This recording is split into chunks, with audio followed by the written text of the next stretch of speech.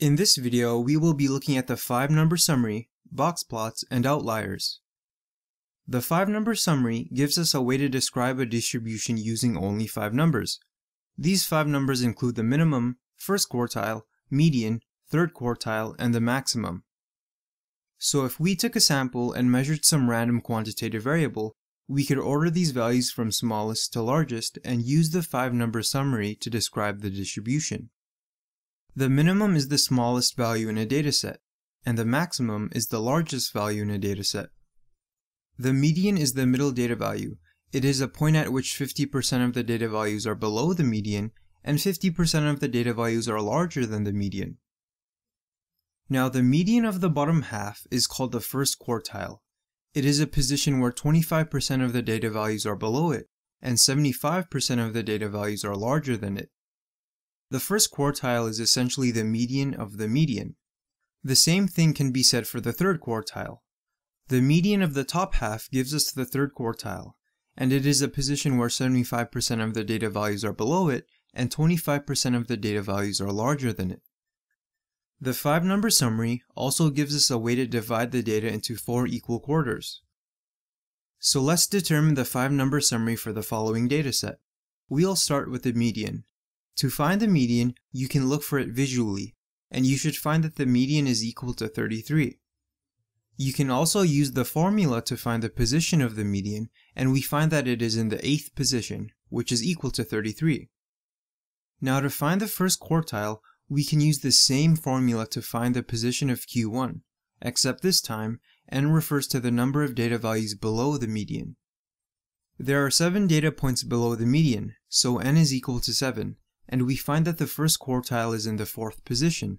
So we count to the fourth position and we see that Q1 is equal to 25. To find the third quartile, we will do the same sort of thing, except n refers to the number of data values that are above the median. There will always be symmetry, so you should find that Q3 is also in position 4. So we count 4 positions above the median, and we find that Q3 is equal to 36. Now the minimum is the smallest number, and the maximum is the largest number. So as a result, this is our 5-number summary. We can then take these 5 numbers and make something called a box plot. A box plot gives us a visual representation of the 5-number summary, and it looks something like this.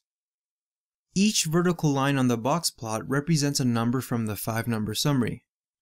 The horizontal line that extends out from the box are called whiskers and the actual box itself is called the interquartile range. The interquartile range refers to the middle 50% of an ordered dataset, and it is equal to the third quartile minus the first quartile. We can also have something called a modified box plot. It's like a regular box plot, except it accounts for outliers. Sometimes, outliers in a dataset aren't that obvious.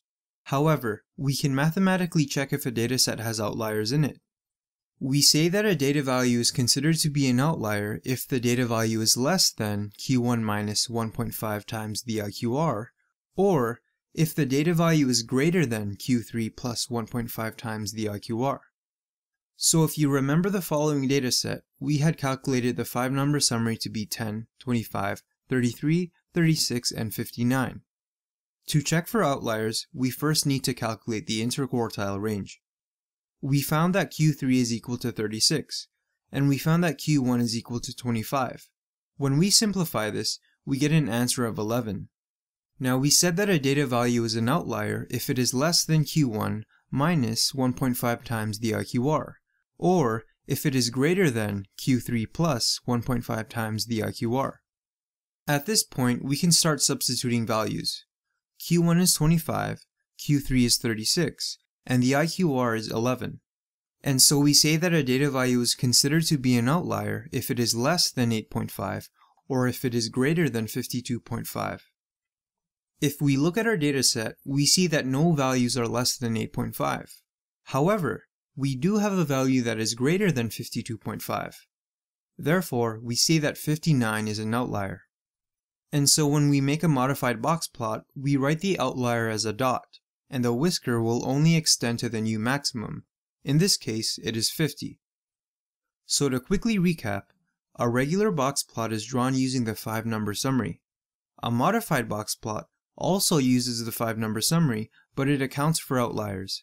And if there are outliers, a whisker or both whiskers will extend only to the new minimum or maximum. Similar to back-to-back -back stem plots, we can have side-by-side -side box plots. By having them side by side, we can make easy mathematical and visual comparisons between two sets of data.